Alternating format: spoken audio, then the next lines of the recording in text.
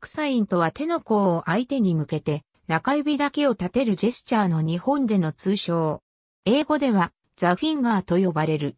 この中指は陰形、人差し指と薬指は陰嚢を象徴し、ファックユーなどの部別表現に相当する卑猥で、強烈な侮辱の仕草である。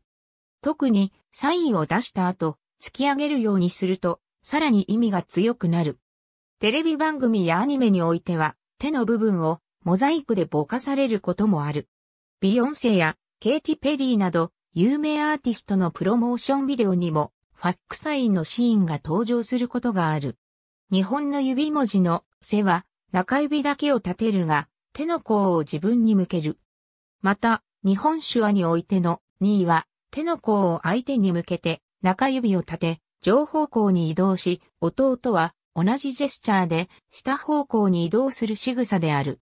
一般の日本人においては、ジェスチャーで相手を侮辱するという文化に乏しく、1980年代から1990年代の日本において漫画やアニメなどで感情の強調という記号的意味合いで使われることが多かった。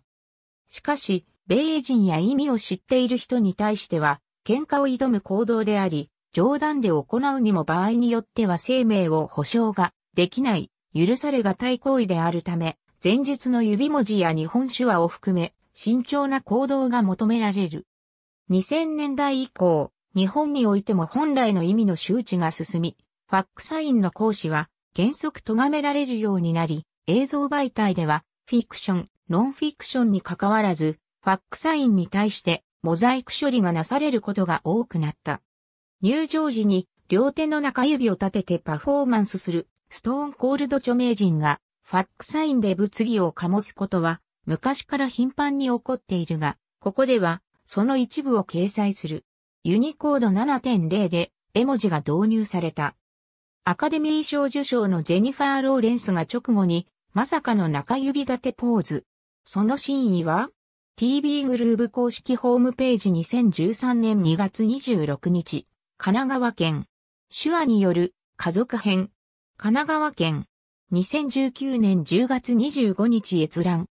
ファックユー。映画の中指を立てる新集 T、サイトニュース。ありがとうございます。